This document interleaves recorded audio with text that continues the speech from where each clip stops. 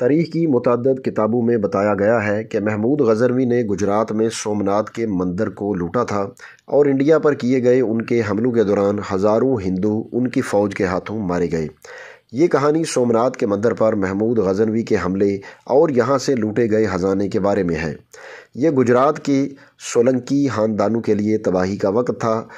सौराष्ट्र के साहिल पर वाक़ सोमनाथ मंदिर की वजह से इसे गुजरात की गुर्जर सल्तनत का मजहबी दारुलकूमत समझा जाता था। सोमनाथ मंदिर की छत अफ्रीका से बरामद किए गए पत्थरों के छप्पन सतूनों पर टिकी हुई थी। मंदिर के ऊपर चौदह सुनहरी गुंबद थे जो धूप में चमकते थे और दूर से नज़र आते थे। मंदिर के अंदर नस्ब शिवलिंगा की ऊंचाई लगभग सात बालिश्त थी, जिसे खूबसूरत नक्शो नगार से सजाया गया था और हीरों से जड़ा एक ताज उसकी चकाचौंध में मज़ीद इजाफा करता था। सोने की एक मोटी जंजीर शिवलिंग पर चढ़ाने के लिए इस्तेमाल होती थी, जबकि मंदिर के करीब जवाहरात, सोने और चांदी की मोतियों से भरा एक तोशाखाना था। गर्भागरा के करीब छत पर भगवान शिव की कई सोने और चांदी की मूर्तियाँ रखी गई थीं। डॉक्टर मोहम्मद नाजम ने अपनी किताब life and times of Mahmud Ghazni में इस ज़माने की ज़िंदगी के अलावा भी बहुत सी बातें बयान की हैं। गजनी का शहर सुल्तान महमूद की जाए पैदाइश है, जो मौजूदा अफ़गानिस्तान के शुमाल मशरकी हिस्से में वाक़ है। अपने आबाई शहर की इसी नस्बत के बायस उन्हें महमूद गजनवी कहा जाता है। डॉक्टर नाजम ने अल बेरूनी और इबन जाफ़र जैसे मुतद मुसलमान उलमा का हवाला दिया, ताकि ये बयान किया जा सके कि महमूद गजनवी के हाथों लूट मार से पहले सोमनाथ मंदिर कैसा लगता था। शंभू प्रसाद देसाई ने अपनी किताब प्रभास यानि सोमनाथ। में सोमनाथ मंदिर को बयान किया है। सोमनाथ मंदिर में छप्पन लकड़ी के सतून भी थे। मरकज़ में एक मूर्ति यानी शिवलिंगा रखा गई थी। पूरा मरकज़ी हिस्सा चिरागों से रोशन रहता था। मूर्ति को सोने की जंजीरों और मोतियों से सजाया गया था। मंदिर में बहुत से बुत थे जिनमें कीमती पत्थर जड़े हुए थे। सोमनाथ का मुजस्मा हिंदुस्तान का बेहतरीन मुजस्मा था। मुजस्मा पर यकीन रखने वाले हिंदुओं का मानना था कि रूह जिसम को छोड़कर सोमनाथ आती है और पूजा करती है। अकीदतमंद यहाँ अपना कीमती सामान और मालो असबाब बतौर नजराना पेश करते कई हज़ार गाँव मंदिर की देखभाल करते थे। शंभू प्रसाद देसाई अपनी किताब में मज़ीद लिखते हैं कि ये मंदिर बहुत पुरकशश और कीमती पत्थरों से बना था। हज़ारों ब्राह्मण यहाँ पर रखे हुए बुतों को पूजने और यात्रियों को पूजा करवाने के लिए यहाँ रहते थे। तीन सौ हजाम यात्रियों के सर मुंडवाने के लिए यहाँ ठहरते थे। एक मौर्रख रतनमन्नी राव, भीम राव, जिन्होंने सोमनाथ मंदिर की तमीर नौ के दौरान इब्तदाई तहकीक की थी, ने इस मौजू पर एक किताब भी लिखी है। ग्यारहवीं सदी के आगाज़ तक सोमनाथ और उसकी जायदाद की शोहरत पूरे हिंदुस्तान में फैल चुकी थी। इसलिए सुल्तान महमूद ने अपनी तवज्जो सोमनाथ की शोहरत और दौलत पर मरकूज़ की। ये वो वक्त था जब दुनिया की सरहदों का फ़ैसला तलवार के ज़ोर पर होता था। गजनी के मैदान में महमूद और उनके भाई की फ़ौजें आपस में टकराईं। इस जंग में महमूद को फ़तह हासिल हुई। इसी शाम इसे ताज पहनाया गया और सुल्तान का लकब दिया गया। वो ये लकब पाने वाले पहले शख्स थे। सल्तनत हासिल करने के बाद सुल्तान ने अपनी सल्तनत की हदूद वस्त एशिया से जनूब में सिंध तक बढ़ाने का फ़ैसला किया और हिंदुस्तान के कई इलाकों को फ़तह कर लिया और इस दौरान कई मंदिरों को तबाह कर दिया। महमूद की सवानह के मुताबिक, उस वक्त हिंदू में ये अफवाह फैली हुई थी कि सोमनाथ भगवान उनसे नाराज़ हैं, इसलिए उन्होंने महमूद को भेजा है कि वो उन्हें सज़ा दे और हैकल को तबाह कर दे। जब महमूद को इस बात का इल्म हुआ तो उसने सोमनाथ पर चढ़ने का फ़ैसला किया। फिर महमूद ने अपने तीस हज़ार घुड़सवारों के साथ 18 अक्टूबर 1025 को सोमनाथ पर हमला किया। ताहम तारीख की किताबों में हमें इस फ़ौज की तादाद में फ़र्क मिलता है।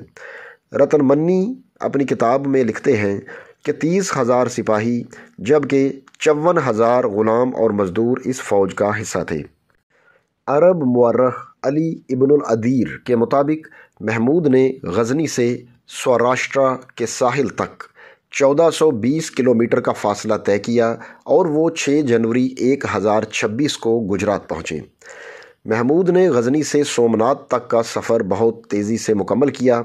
शंभू प्रसाद देसाई ने अपनी किताब में इस सफ़र के हालात बयान किए हैं। वो लिखते हैं कि मोढेरा नामी इलाके में पहुंचकर महमूद को अपने पहले बड़े चैलेंज का सामना करना पड़ा, जब बीस हज़ार फौजियों के एक लश्कर ने उन पर हमला किया। डॉक्टर नाजिम ने अपनी किताब life and times of Mahmud Ghazni में लिखा है कि इस जंग में सुल्तान महमूद को फतह नसीब हुई। शंभू प्रसाद देसाई, अरब मौर्रख इबन अदीर का हवाला देते हुए लिखते हैं कि महमूद ने मुढेरा की जंग जीत ली और इससे महमूद के लिए सोमनाथ पर हमला करना आसान हो गया।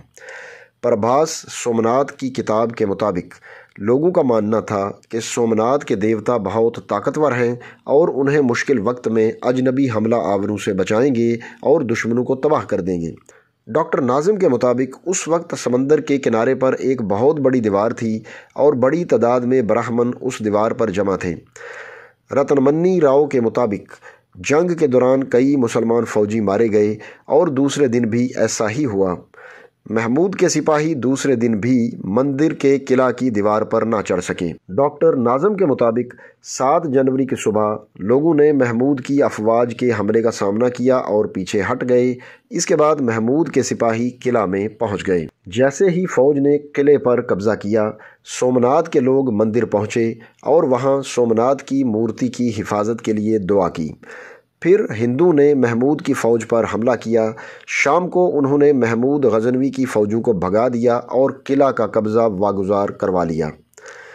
तीसरे दिन महमूद गजनवी की फ़ौज ने किले पर दो हमले किए। रतनमन्नी राव लिखते हैं कि महमूद गजनवी इस जंग को जल्द ख़त्म करके गजनी वापस जाना चाहते थे। महमूद ने अपनी फ़ौज के एक छोटे दस्ते को किले में रहने को कहा। दूसरों को हुक्म दिया गया कि वो इर्द गिर्द के इलाकों से आने वाले फ़ौजियों को किला में दाखिल होने से रोकें। इसी दौरान जब महमूद को मालूम हुआ कि भीम देव अपनी फ़ौज के साथ हमला करने आ रहे हैं तो वो ख़ुद वहाँ पहुँच गए। भीम देव और महमूद के दरमियान ज़बरदस्त जंग हुई। भीम देव भाग गए और महमूद जंग के बाद सोमनाथ वापस आए और किले को तबाह कर दिया। इब्नुल अदील के मुताबिक सोमनाथ को बचाने की इस कोशिश में कम अज़ कम पचास हज़ार यात्री अपनी जानों से हाथ धो बैठे। सोमनाथ का ख़जाना लूटने के बाद महमूद ने सब कुछ जलाने का हुक्म दिया। अली इब्नुल अदील के मुताबिक सुल्तान ने लूट मार से तकरीबन 20 लाख मोहरें हासिल की। किताब life and times of Mahmud Ghazni के मुताबिक सुल्तान को अपने दौर में होने वाली कुल लूट मार का सिर्फ़ पाँचवा हिस्सा मिला था। एक मोहर का औसत वज़न चार अशारिया दो ग्राम था और अगर रकम का हिसाब लगाया जाए तो उसकी कीमत आज के 105 करोड़ तैंतालीस लाख इंडियन रुपए बनती है। ये ज़िक्र करना बेजा ना होगा कि ये अंदाज़ा इस किताब में 1931 में लगाया गया था। Harold Wilberforce, history of Kathiawar from antiquity, में लिखते हैं कि इस वक्त सोमनाथ या सौराष्ट्र में कोई दूसरा बादशाह नहीं था जो महमूद से लड़ सके। चुनाचे सोमनाथ में ख़जाना लूटने के बाद महमूद कोई वक्त ज़ाया नहीं करना चाहते थे और उसे जल्द अज जल्द बाहर निकालना चाहते थे। प्रभास सोमनाथ के मुताबिक महमूद ने सोमनाथ पर हमला करके हिंदू बादशाहों को हैरान कर दिया था। मालवा के बादशाह भोजा परमार सिम्बरवा के विशाल देव चौहान और पटन के भीमा सोलंकी ने महमूद पर जवाबी हमला करने का मंसूबा बनाया हुआ था, चुनाचे महमूद के पास गजनी वापसी के सिर्फ़ तीन रास्ते थे। मालवा के रास्ते में बादशाह भोजा तैयार बैठे थे, जबकि विशाल देव माउंट आबू में बैठे हुए थे। भीम की फ़ौजें महमूद को कच्छ में रोकना चाहती थीं। अलबत् महमूद इन तीनों से ज़्यादा अक्लमंद थे। उन्होंने सहराई रास्ते का इंतखब किया। महमूद को उनके जसूस, इन बादशाहों की सरगर्मियों के बारे में मुसलसल आगाह कर रहे थे। प्रभास सोमनाथ के मुताबिक महमूद ने सहरा के रास्ते कच्छ से सिंध तक का सफ़र किया। भीमदेव इन तीनों बादशाहों में सबसे कम ताकतवर थे। उनकी सल्तनत महमूद के रास्ते में पड़ी। ये जानते हुए कि लूट मार के साथ गजनी वापस आना आसान नहीं होगा। महमूद ने भीम देव के किले पर हमला करने का फ़ैसला किया। Life and times of Mahmud of Ghazni के मुताबिक, महमूद भीम देव को कत्ल करने के बाद वो कच्छ से सिंध चले गए।